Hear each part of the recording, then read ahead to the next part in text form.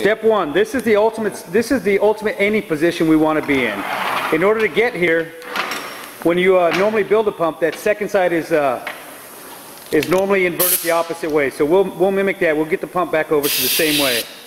By doing that, we pressurize the exhaust side.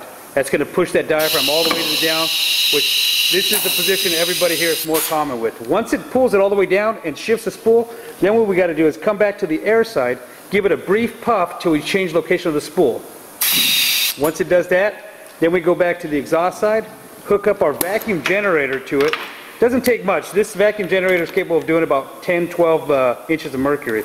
Once we do that, you'll see the diaphragm just lift up with no assistance other than vacuum required.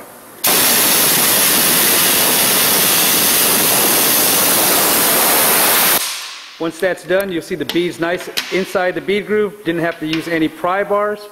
Everything's done.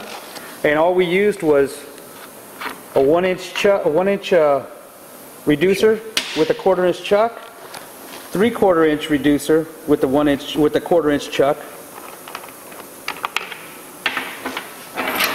and a vacuum generator.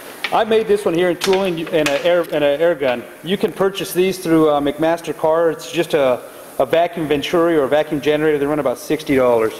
Uh, so you get, you know, I mean, these pieces are all common. You get that and you end up with this. No more hassles, no more fuss, no more fighting. This also works on Wilflex, works on any other diaphragms you have. So uh, that's pretty much it in a nutshell. If you have any questions, feel free to give us a call. Thank you.